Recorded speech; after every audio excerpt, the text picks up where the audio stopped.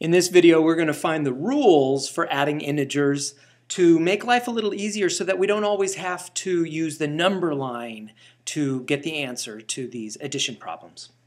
But we are going to begin with some number lines. So let's do a number line for each of these problems. And just to make sure we agree on the answers. We got to do that. We got to make sure we agree to the answers. Otherwise, there's no way we're going to find a pattern. So positive 5 plus positive 3 means a hop to the right of 5. A hop to the right of 3 puts us at the first hop puts us at 5. Second hop puts us at 8. So the answer is 8. Down here, negative 10 plus negative 5 means we're going to start at 0, 0. Hop to the left of 10. Hop to the left of 5. First hop puts us at negative 10. Second hop puts us at negative 15. So the answer is negative 15. Up here we've got positive 5 plus negative 2. So we'll start here. First hop is 5 to the right. Oh, let me start it over here. Guess it doesn't matter much. 5 to the right. And then negative 2 is 2 to the left. So the first hop puts us at 5. The second hop of negative 2 puts us at 3. So that answer is 3. And then down here, negative 8 plus positive 3. We're going to start at 0. First hop puts us way to the left at negative 8. And the second hop of positive 3 puts us at negative 5. So this answer is negative 5. Now in a previous lesson, we've learned that addition is commutative. So 5 plus 3 is 8, so is 3 plus 5. Down here, negative 10 plus negative 5 is negative 15, but so is negative 5 plus negative 10. And then up here, negative 2 plus positive 5 is equal to 3. And down here, positive 3 plus negative 8 is equal to negative 5 still. So the order doesn't matter, doesn't change the answer at all.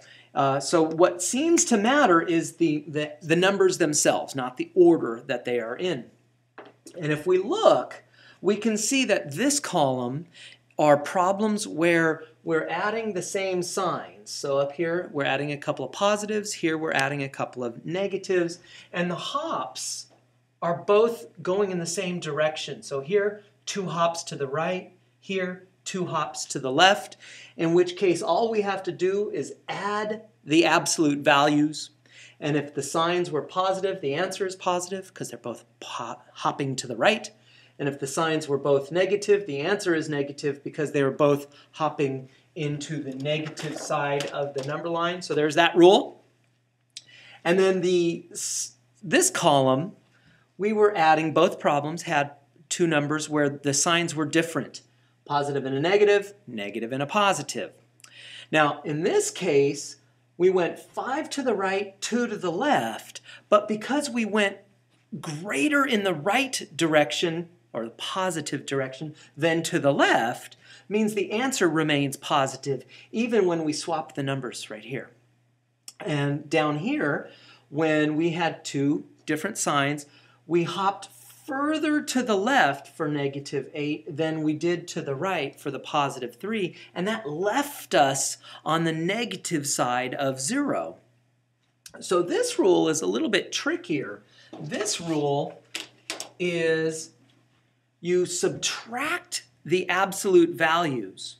So up here, 5 minus 2 is 3. Here, 8 minus 3 is 5. So you subtract the absolute values, and then you attach the sign of the number that has the larger absolute value. Up here, since we went more to the right, more to the 5 than to the negative 2, to the left, means the answer remains positive.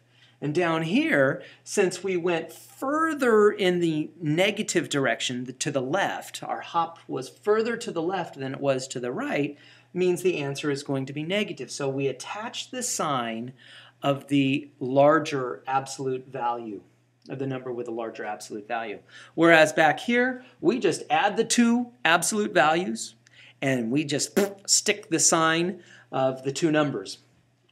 5 plus 10 is 15, and since both were hops to the left, we stick the negative sign in front of the answer.